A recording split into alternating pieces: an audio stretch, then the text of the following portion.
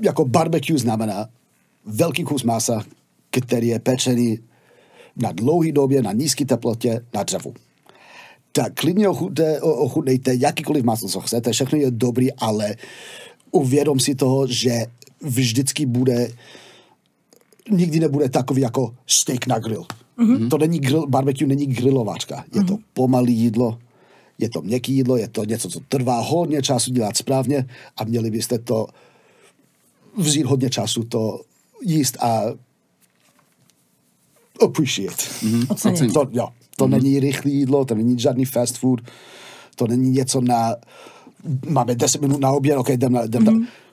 Sedněte se na stůl, ochutnejte různý druhy masa, různý druhy přílohy a jako zkus najít ty rozdíly mezi, každý, každý, mezi každým kouskem. Mhm. Vždycky bude něco.